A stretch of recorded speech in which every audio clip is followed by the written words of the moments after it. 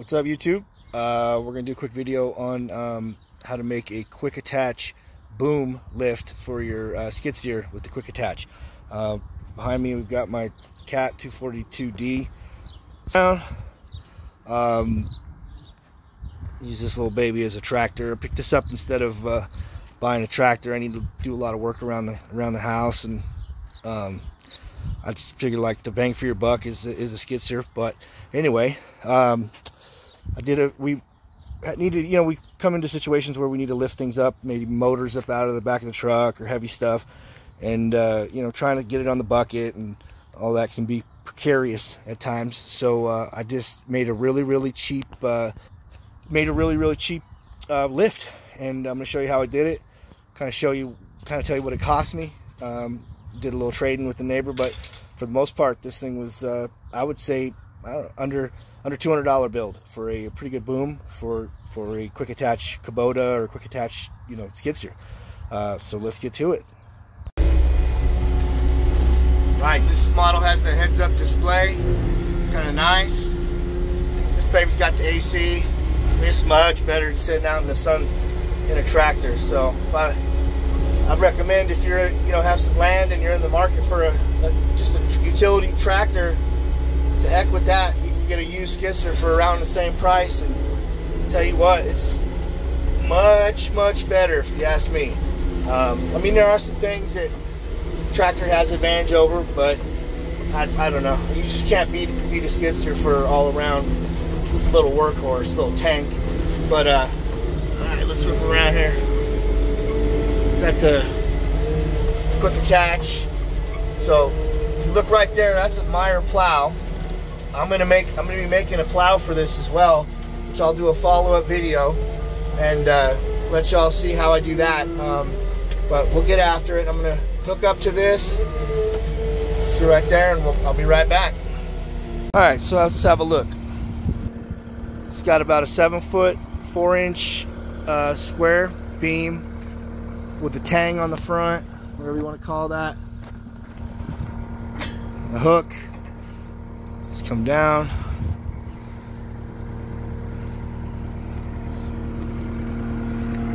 Like that. Okay.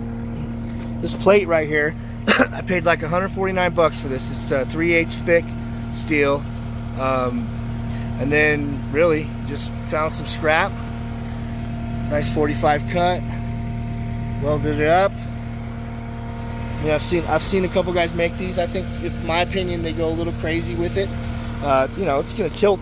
Probably haven't got it to its max, but I mean, it's gonna tilt pretty probably less than 2,000 pounds at that angle. So, I mean, to make to go crazy on the support, you know, you're gonna make it. You're gonna waste your time, waste metal.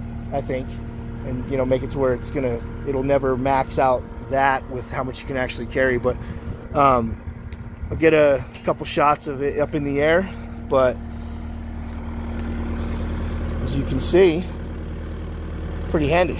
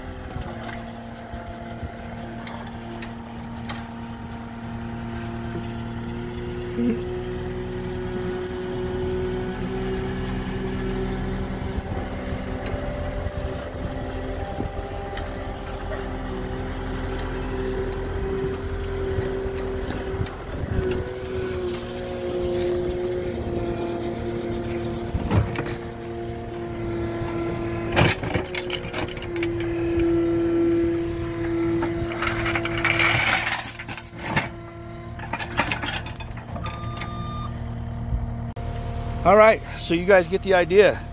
Um, you know, that thing probably weighs, I don't know, I'm gonna just guess, four or 500 pounds maybe.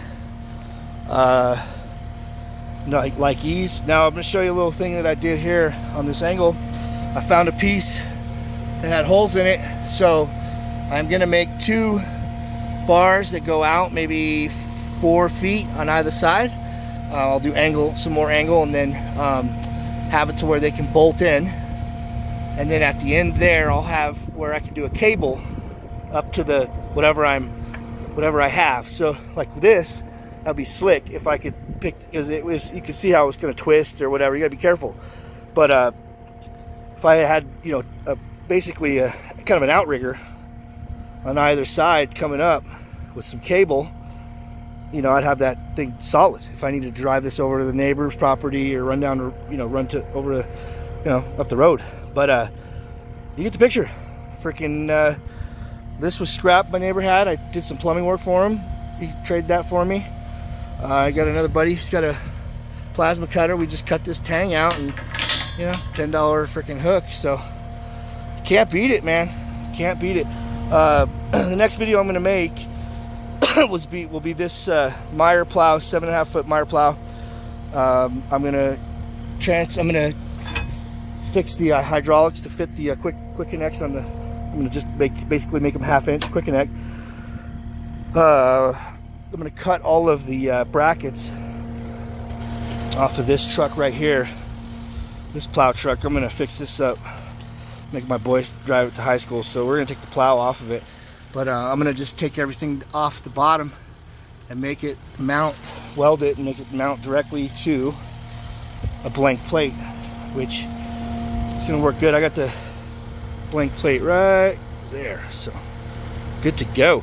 Anyway, peace out. Uh, if you guys wanna, I'm, we're talking maybe 200, 300 bucks if you had to buy all this stuff. Good luck finding any quick attach for skid steer for less than that. um, the plows, I mean, these are 4,500 bucks. This is a plow I picked up with the truck for 1,500 bucks. So uh, again, when I'm done with this, I'll have a plow that uh, Meyer charges 4,500 for almost the same thing. But anyway, if this helps anybody out, uh, great. If you have any questions, comments, let me know. Uh, happy to help anybody. Peace out.